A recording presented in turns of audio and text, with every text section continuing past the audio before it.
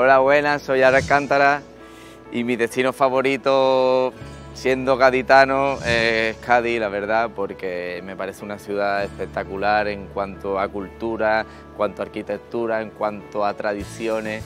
La gente de por ahí habla de Cádiz y a todo el mundo se le llena la boca hablando de Cádiz, a todo el mundo le encanta Cádiz. Muero yo que soy cocinero por su gastronomía, por supuesto. Tenemos nuestro carnaval de Cádiz, del que soy aficionado y también salieron algunas chiricotas de chicos. Vengan a visitar Cádiz si no lo han visitado, porque de verdad en Cádiz hay que morir.